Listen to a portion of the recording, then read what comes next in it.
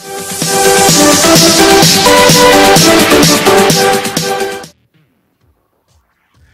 guys, it's 24 on tech. You know what time it is. Right, I wanted to make this video today about Miles Morales settings and some other game settings, but today we're going to know about the Miles Morales. The reason why I've been watching a lot of YouTube videos and stories saying that when they played Miles Morales, they can't uh, feel the haptic feedback and the adaptive triggers. But while I was playing Miles Morales, I thought, let me go into the settings and play around with it. And guess what? I felt everything on this pad with Miles Morales, and it's a different gameplay. So let's get into that, and don't forget to like, comment, and subscribe. Thank you. We're going into Miles Morales now, and into the settings.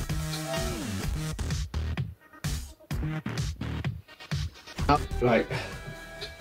Now we're going into Miles Morales, and also you'll get to know how fast the game loads on the PS5, which is a PS5 game to be honest, but trust me on the PS5 the load timing is and also I've done a video on the comparison of the load times on the PS4 and the PS5 and uh, you'll be shocked that video is coming tomorrow soon as well thank you so please please don't forget to comment like subscribe and also share thank you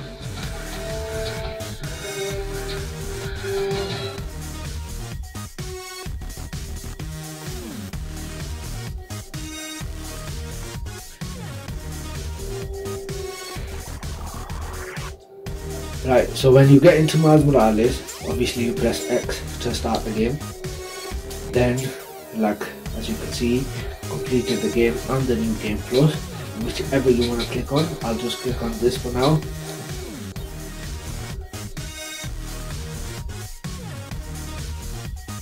Right, see how fast that loaded, yeah?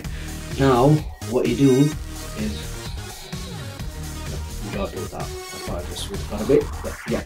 So now you go to start, which is the option button, and then you go to settings, and then can you see game? You go to game, and this is where it gets, you know, amazing. So as you can see, you go down here where it says controller, it says classic. So when you turn that into accessibility, as you can see on the screen there, Enable additional vibration to assist with auditory and visual gameplay elements including venom, camo, finisher, availability, danger, radius of explosives, collectible and tentacles resistance. Yeah? So now when you click on that, you can feel the adaptive triggers and the haptic feedback on the pad.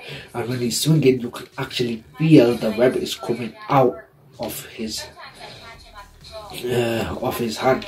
So as you can see, look, like this. Ooh. Now you can feel all sorts of, you know, adaptive changes. So just bear in mind when you play Miles Morales, you just need to go into the game settings when the game loads. Just press the option button, which is the pause button, and then go into the game settings, as you can see here, and then you go into the game and their accessibility.